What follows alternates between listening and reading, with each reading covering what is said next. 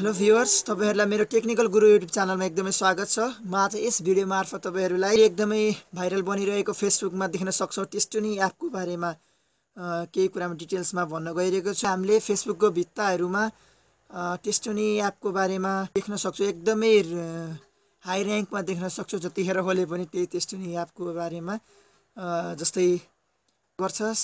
त रिसा बेला कस्तो देखिन्छस् अथवा रिसाए बेला के गर्छस् भन्ने यस्तै फन्नी क्वेसनको एन्सरहरू फन्नी रूपमा दिएर युजरलाई इन्टरटेनमेन्ट दिने काम गरिरहेको छ।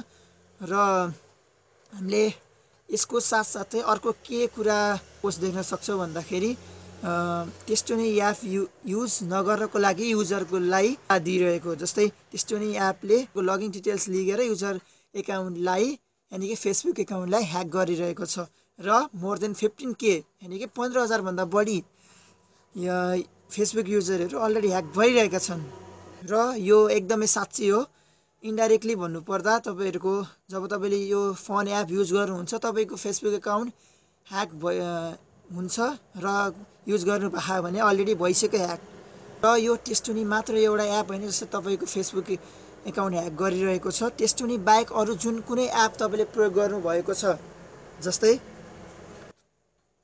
यति वर्षपछि तिमी कस्तो देखिन्छौ? तिम्रो पार्टनरको अगाडिको नाम केबाट सुरु हुन्छ? जस्तै यिनीहरू अरू पनि जे जति एप्सहरू हामीले फेसबुकमा देख्न सक्छौँ तिनीहरू एपले पनि तपाईँको फेसबुक एकाउन्ट इन्डाइरेक्टली ह्याक गर्छन्। त्यसैले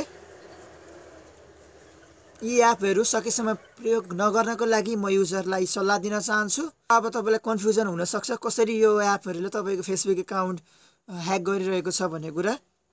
यसमा यसको मेकानिजम कस्तो छ भन्दाखेरि जब तब तपाईँले यो एपको वेबसाइटभित्र छिर्नुहुन्छ र तपाईँले आफ्नो एन्सर पाउनको लागि क्लिक गर्नुहुन्छ तब यो एपले अटोमेटिकली तपाईँको लगइन डिटेल्स लिन्छ।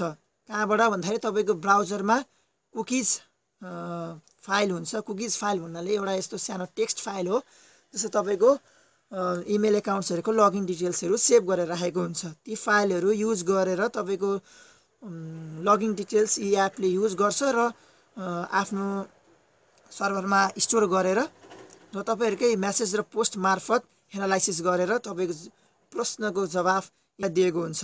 र इन्डाइरेक्टली तपाईँको लगइन डिटेल्स उनीहरूको यानि कि यो एप जसले बनाएको उस उसको सर्भरमा गएर स्टोर भइसक्यो। यानि कि तपाईँको इन्डाइरेक्टली ह्याक भइसक्यो। त्यसैले यस्ता जे जुनसुकै एप फेसबुकमा आउँछ यी युज नगर्नको लागि म फेसबुक युजरहरूलाई विनम्र अनुरोध गर्दछु। हस्त धन्यवाद। र यस्तै अरू आइटीसँग रिलेटेड भिडियोहरूको अपडेट्स पाउनको लागि तलको सब्सक्राइब बटनमा क्लिक गर्नुहोस् र हाम्रो च्यानललाई सब्सक्राइब गर्नुहोस्। र भिडियो मन परेको छ भने लाइक गर्नुहोस् र सेयर गर्न नभुल्नुहोला। धन्यवाद।